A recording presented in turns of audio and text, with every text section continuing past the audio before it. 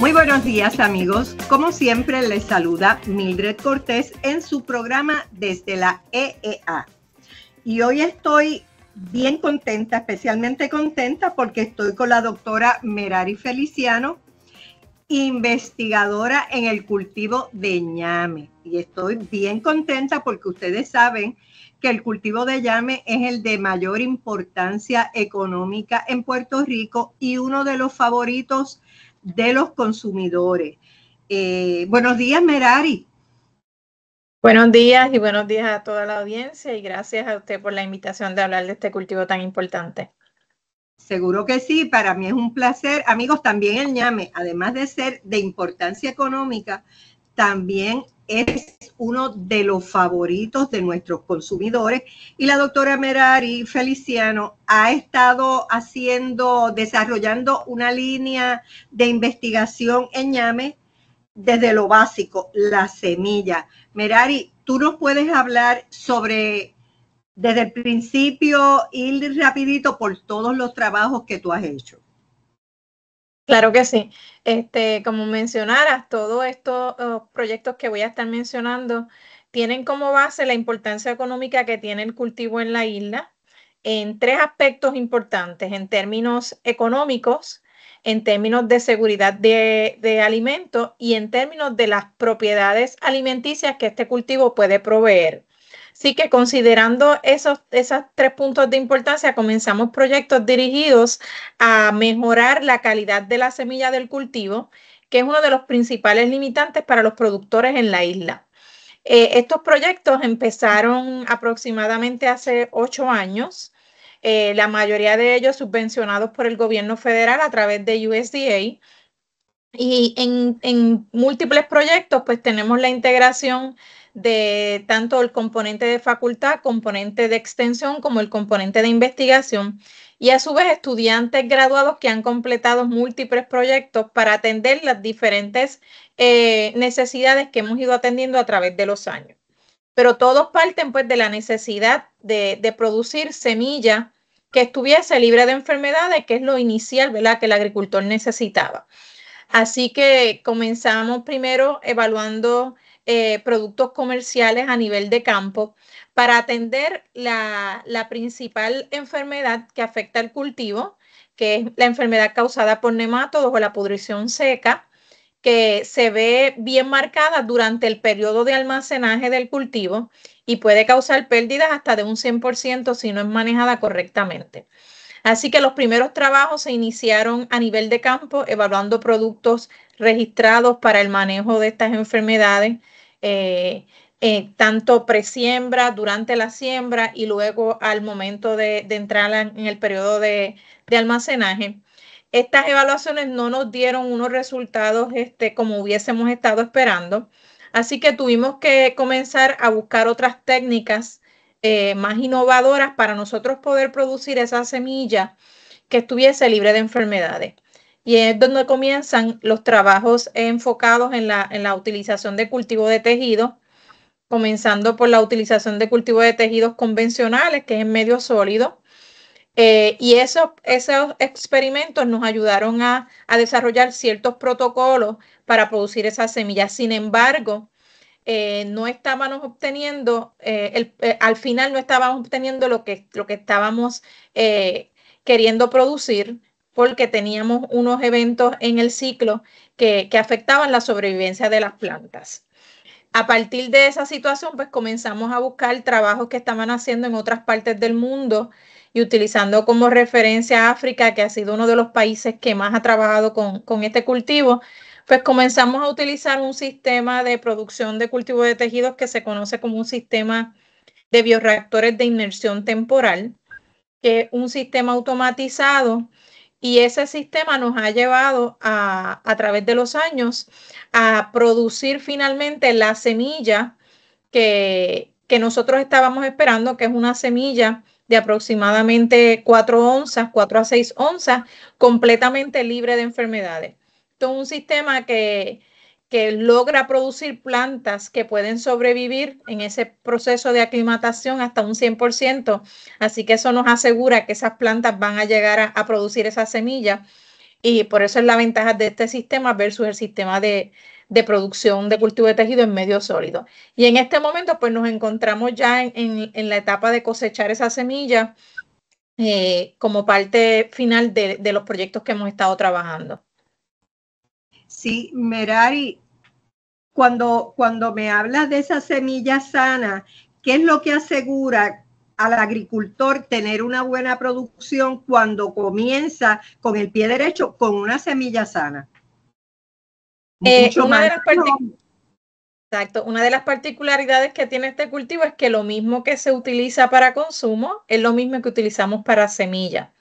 Si al momento de, de la cosecha el agricultor selecciona una semilla, mm, la más bonita, eh, para la venta, pues esa selección eh, viene perjudicando al propio agricultor porque selecciona una semilla de menor calidad. Nosotros ya sabemos y hemos validado a través de la investigación que esa semilla es la principal fuente de contaminación de hongos, de bacterias y de nemátodos. Tres agentes causales de enfermedades bien importantes en el cultivo, específicamente en el tubérculo. Si el agricultor no desinfecta esa semilla correctamente o no selecciona una semilla de buena calidad, pues cuando vuelva a iniciar su periodo de siembra, pues está llevando a su vez todos estos agentes patogénicos a la siembra. Y el resultado lo ve cuando el cultivo se cosecha porque muchas de estas enfermedades se van a expresar a lo largo del ciclo y principalmente cuando ocurre el periodo de almacenaje, ahí es donde se pierde. Así que aunque puede tardar ver el efecto de estas enfermedades inicial con una semilla libre de enfermedades de buena calidad, le va a asegurar al agricultor que luego del periodo de latencia y luego del periodo de, almacenaje, yo voy a seguir teniendo una semilla de calidad. Eh, yo creo que eso es bien importante y, planteo y te pregunto si me quieres confirmar si es importante, ¿verdad?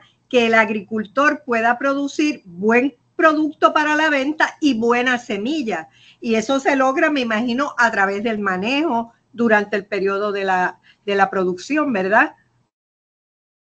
Eh, por supuesto, cuando nosotros hablamos de, producción de semillas, eh, nuestro objetivo no es solo eh, ¿verdad? Proveer una semilla buena, sino que el agricultor, al iniciar con una semilla buena de calidad, tenga también un buen producto de buena calidad para la venta al final de la cosecha y también tenga su propia semilla de buena calidad. Así que eh, eso asegura ambas cosas, asegura que yo tenga un buen producto para mercadear, un buen producto para vender con buena calidad, pero que también a su vez yo me pueda quedar como productor con un buen producto para iniciar ese próximo ciclo de siembra. Así que, que impacta ambas, ambas áreas para el agricultor. Exactamente, a eso era lo que quería llegar, ¿verdad? Que si damos un buen manejo de la semilla y del cultivo, al final, al momento de la producción, vamos a tener ambas cosas de calidad, el producto para la venta y nuestra semilla. Eh, eh, tú estás, eh, tus trabajos están localizados en la Estación Experimental Agrícola de Isabela y tú tienes allí una siembra. Háblanos un poco cuáles son los factores que tú evalúas en esas siembras experimentales que tú tienes que son sumamente exitosas? Pues nosotros evaluamos varias, varios aspectos y a lo largo de los años hemos ido evaluando eh, varios aspectos del cultivo, no solamente eh, la producción de semillas, sino también estamos evaluando eh, las distancias de siembra para maximizar la cosecha. La cosecha es un, un, costo bien alto para los agricultores porque mucha de ella es artesanal, es manual. Así que en esos lugares que son un poco más llanos, hemos tratado de, evaluar métodos de cosecha utilizando una cosechadora de papa modificada y eso realmente es mucho menos de la mitad del tiempo que ocurre de manera manual. Así que es una, una de las cosas que hemos estado evaluando para los agricultores que siembran en terrenos más llanos o en la costa, que les facilite ese proceso de cosecha. En, la estación de Isabela, como mencionaras, ahí es que tenemos los experimentos. Ahí hemos evaluado, además de eso, manejo para enfermedades foliares. Hay ciertos ¿verdad? cultivares de ñame eh, que están eh, presentando cierta sintomatología en el follaje, especialmente ahora, ¿verdad? Con la llegada de la roya. Así que también parte de los trabajos van dirigidos no solo al manejo de enfermedades en las semillas, sino también el manejo de enfermedades en el follaje que si afectan antes de que el tubérculo comience a engrosar y ese proceso de llenado de ese tubérculo, pues puede afectar los rendimientos al final del cultivo. Así que tanto lo que hacemos a nivel foliar como lo que ocurre en la semilla puede impactar esa producción y los trabajos van dirigidos a, manejar ambos aspectos. Adicional a eso, también hemos trabajado con una técnica eh, que vamos a estar presentándole a los agricultores en, un, curso corto que vamos a estar ofreciendo, que es la técnica de mini sets para que los agricultores puedan producir su propia semilla de buena calidad. Sabemos que la escasez de semillas es una de las limitantes del cultivo, así que, queremos ¿verdad? que los agricultores tengan la, capacidad de producir eh, su propia semilla y esta técnica pues la hemos evaluado porque utiliza menos cantidad de semilla en espacios más pequeños, una combinación de, tamaño y espacio para que ellos puedan eh, producirla y, y suplirse su propia semilla eh, utilizando todas las técnicas de manejo que hemos, que hemos evaluado. Y todos estos trabajos pues los hemos hecho en la Estación Experimental de Isabela. Sí, yo sé que te pregunto de, las cosas que se hacen allí, porque como dije al principio, eh, la doctora Feliciano ha desarrollado toda una línea de investigación y se ha tratado de tocar, ¿verdad?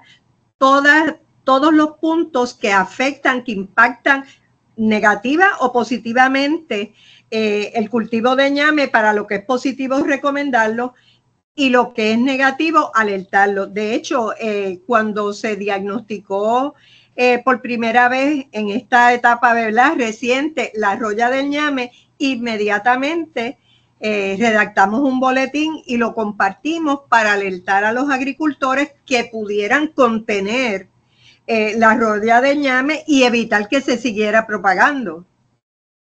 Eh, este, de hecho, sí, eh, algo, algo bien importante de esto es que, que aunque quizás yo pueda este, estar a cargo de ciertas cosas, el trabajo que estamos haciendo con ñame es un trabajo que, que tiene muchas personas. ¿verdad? Este, tiene estudiantes, tiene agentes agrícolas, tiene extensionistas, tiene economistas, tiene este, profesores e investigadores, porque queremos tratar de atender todas las necesidades de los agricultores y cuando ocurren eventos como este, como fue el caso de la roya, pues realmente necesitamos estar todos enlazados, todos conectados para llevar una misma voz, un mismo mensaje y que los agricultores puedan implementar esas prácticas recomendadas eh, a la mayor brevedad, porque eso nos evita problemas eh, futuros en la dispersión de esas enfermedades. Exactamente, y siendo el ñame un cultivo tan importante, ¿verdad? Y de seguridad alimentaria, y que se había hecho un esfuerzo tan grande y una inversión tan grande de fondos que ha hecho la doctora Feliciano a través de las propuestas para traer el mejor producto posible, inmediatamente que suceden cosas inesperadas, el equipo de trabajo se alerta y empezamos a, trabajar, a, a diseminar la información, a, atender a los agricultores con el problema, porque el equipo de trabajo de ella, de verdad, que colabora de fitopatólogos, rápidamente fueron a la finca y pudieron hacer unas recomendaciones que tuvieron un efecto bien productivo porque se pudo contener la enfermedad. No es que no esté, es que se ha podido manejar, ¿verdad? Eh, Merari, y con las variedades, ¿has trabajado con las variedades también? Pues sí, estamos, todavía estamos trabajando en eso. Eh, hay muchas cosas que necesitan ser caracterizadas este, en términos morfológicos porque eh, nos hemos dado a, nos hemos percatado que muchos agricultores nos dicen tengo tal cosa, pero cuando vemos realmente no es lo que probablemente eh, ellos están mencionando porque la apariencia puede ser bien similar entre un cultivar y otro. Así que nos hemos dado la tarea de caracterizar diferentes este, cultivares en términos morfológicos y en términos genéticos, que es la parte que es un poco más compleja para estar seguro que realmente son cosas diferentes, porque pues, al ser un cultivo que se propaga clonalmente, pues quizás estamos propagando lo mismo, pero a lo, largo de los años pues han ido cambiando o lo entran de una forma y luego acá le damos otro nombre o los agricultores se lo siguen intercambiando.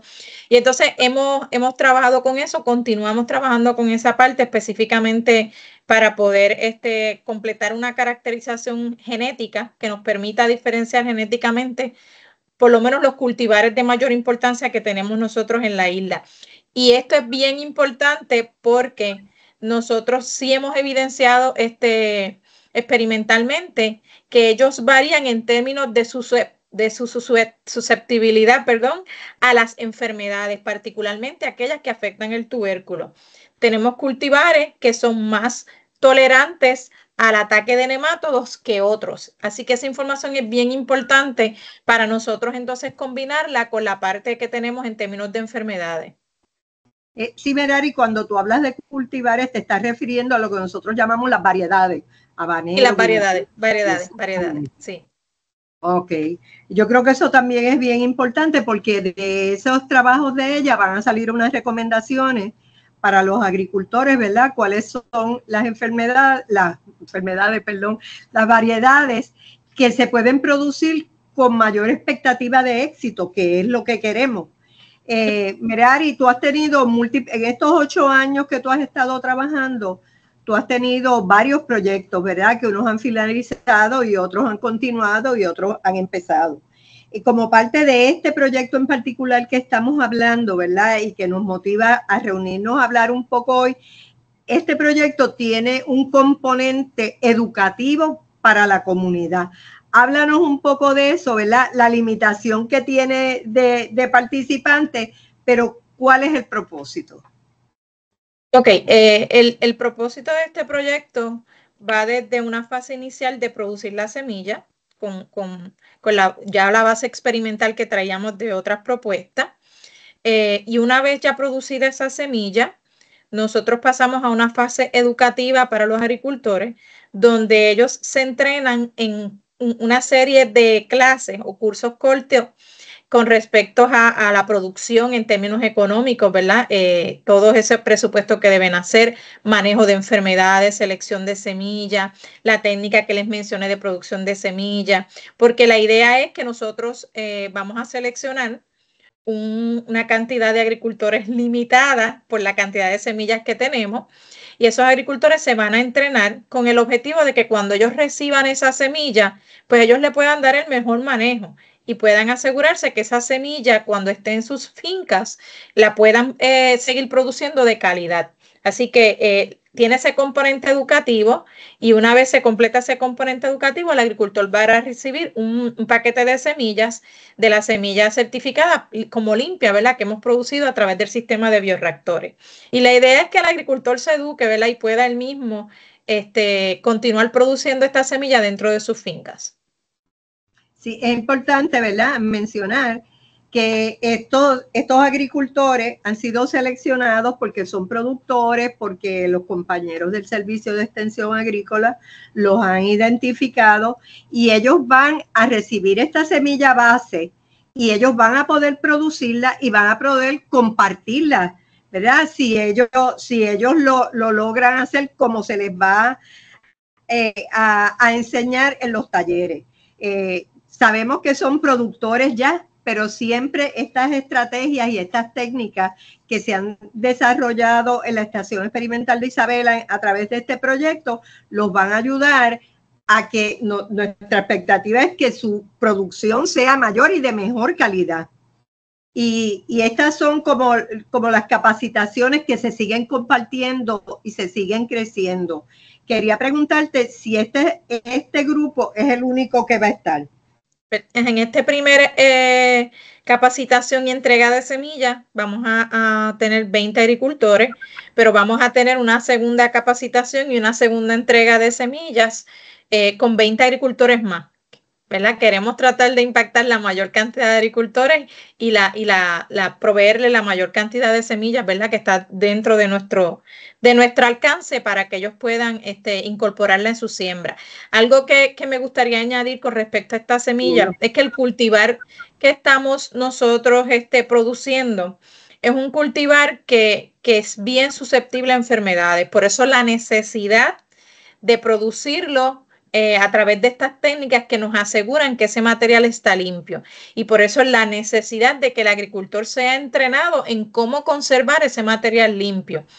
Eh, además de esa particularidad, esa semilla eh, tiene un ciclo de latencia bien corto, lo que le permite al agricultor tener ñame fuera de época. Y sabemos que para, para en términos comerciales esto es bien atractivo porque va a estar en el mercado cuando quizás no todo el mundo tiene ñame, así que puede tener un mejor precio, eh, ¿verdad? Para, para la venta. Así que considerando esas dos características es porque hemos estado trabajando este, además de que es un, cultivar que a la gente le gusta, ¿verdad? No solamente esas dos cosas. El favorito. Eh, eh, eh, y por muchos años se producía en, en, gran cantidad en Puerto Rico, pero se fue perdiendo también debido a enfermedades, a la, a la, mezcla que puede existir, porque pues no se pueden identificar fácilmente unos de otros a nivel de finca.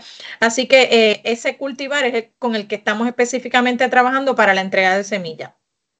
Muy bien, sí. Además, para los agricultores es una gran oportunidad porque nosotros solamente producimos ahora mismo el 20% de todo lo que consumimos. O sea, que nosotros tenemos un gran espacio para sustituir las importaciones y apoderarnos nosotros de ese mercado. ¿Por qué? Porque vamos, el, el público lo prefiere.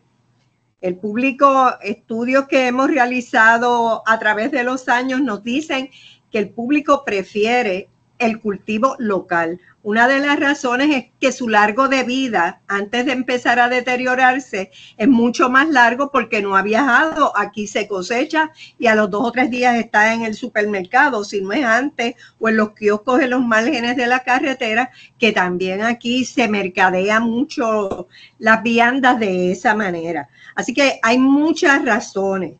Otra, otra cosa que quería comentar es que la doctora Merari Feliciano y su equipo de trabajo han estado eh, trabajando durante los pasados meses en un nuevo conjunto tecnológico o paquete tecnológico eh, que esperamos que esté disponible bien pronto. Va a estar en línea en la dirección de la biblioteca de la Estación Experimental Agrícola. Entiendo que también va a estar en línea en papel.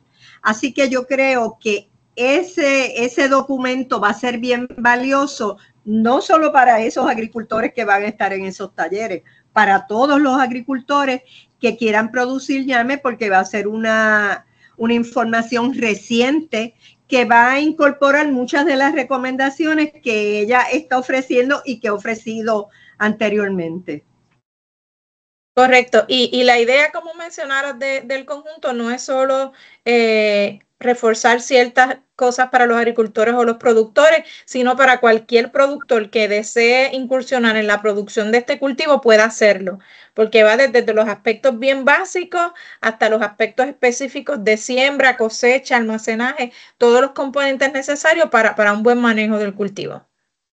Exactamente, y por eso siempre yo les digo, ustedes no tienen que estudiar en la universidad para beneficiarse de la universidad nosotros estamos como una misión de vida que tenemos, ¿verdad? En nuestros trabajos, trabajando para proveerles a ustedes la mejor información, porque a todos nos interesa consumir lo que nuestros países producen.